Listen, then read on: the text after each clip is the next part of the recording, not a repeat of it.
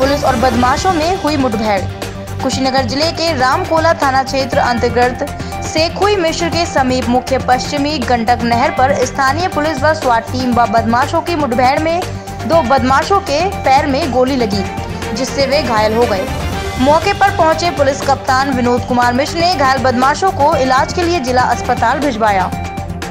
गुरुवार को पता चला कि बीते 6 अगस्त को रामकोला थाना क्षेत्र के गोबरही चौराहे पर स्थित अपनी जेवर की दुकान बंद कर घर लौट रहे पटरोना कोतवाली क्षेत्र के गाँव बहादुरगंज निवासी स्वर्ण व्यवसायी कृष्णा वर्मा की मोटरसाइकिल व जेवरात लूटने की नियत से लुटेरों ने तीन गोली मारकर घायल कर दिया, जहाँ गोरखपुर इलाज के दौरान 11 अगस्त को मौत हो गई। हत्या में शामिल बदमाश मिश्रौली से बड़ी नहर पकड़कर नेपाल जाने की फिराक में लगे हैं। मामले की जानकारी होने पर ज़िले की स्वाट टीम व रामकोला पुलिस बदमाशों को पकड़ने के लिए सुराग कसी तेज कर दी। ज़रिए मुखबिर पता चला कि बदमाश बड़ी नहर से सैखुई की तरफ़ निकल रहे हैं। पुलिस मिश्रौली से पीछा करने लगी। उधर सैखुई पुल के पास पुलिस ने नाकेबंदी कर दी। बदमाश अभी सैखुई मिश्र के समीप पहुँचे कि पुलिस दोनों तरफ़ से घेर लिया। बदमाश दोनों तरफ़ से घिरने के बाद पुलिस पर फायर झोंक दिया। जवाब में पुलिस की गोली से दो बदमाशों के पैर में गोली लगी और वे घायल हो गए। जिनकी पहचान अजय सिंह उर्फ़ गुड्डू बाबा छपरा बिहार व सिंटू सिंह निवासी, जवाही नरेंद्र थाना, तरिया सुजान के रूप में की गई। मौके पर पहुँचे पुलिस अधीक्षक ने घायल बदमाशों को जिला अस्पताल भिजवाया। इस संदर्भ में पुलिस अधीक्षक विनोद कुमार मिश्रा ने कहा कि स्वर्ण व्यवसाय की लूट के बाद से ज़िले की स्वाट टीम व रामकोला थाने की पुलिस बदमाशों के पीछे तभी से लगी हुई थी। कल से ही अपराधियों की मोबाइल से लोकेशन मिल रहा था। अपराधी काफ़ी शातिर किस्म के हैं बार बार लोकेशन बदल रहे थे।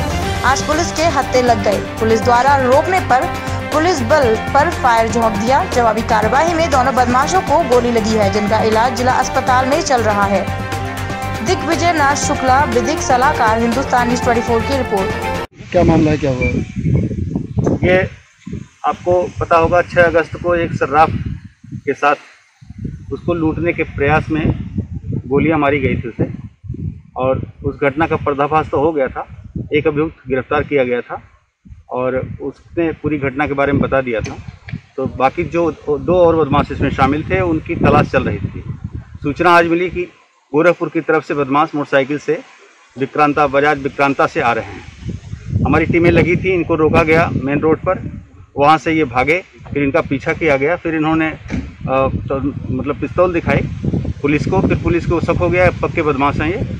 और फिर पुलिस ने इनकी घेराबंदी की। यहाँ आके फिर इन्होंने पुलिस पर फायर किया। पुलिस ने भी इनके ऊपर फायर किया जिसमें दो बदमाश घायल हुए हैं। इन्हें अस्पताल भेजा गया है। इसमें एक बदमाश अजय कुमार सिंह बाबा ये बिहार का रहने वाला है छपरा का। और इसके पहले भी सर्राफ लूट के केसेज में रह चुका है यहाँ पे। इसको जेल भी भेजा गया था अभी जेल से छूटा था कुछ दिनों पहले तब उसके बाद ये घटना की है। इन बदमाशों की क्रिमिनल हिस्ट्री क्या है और क्या है कुछ कुछ इनाम भी घोषित था क्या इनके जी हाँ इनके सभी के ऊपर पच्चीस पच्चीस दोनों के ऊपर पच्चीस पच्चीस हज़ार का इनाम घोषित था। और इसमें से तीन बदमाश थे दो बदमाश यहाँ मिले हैं एक बदमाश अभी भागा हुआ है। उसका भी पीछा पूरी तरह से सदस्य किया जा रहा है। और पुलिस लगी हुई है पीछे चारों तरफ़ से नाकेबंदी और चेकिंग की जा रही है। सर मुठभेड़ में चोट कहाँ लगी है? बदमाशों को बदमाशों को पैर में गोली लगी है पैर में गोली लगी है। ये टॉप टेन ये टॉप टेन क्रिमिनल भी थे।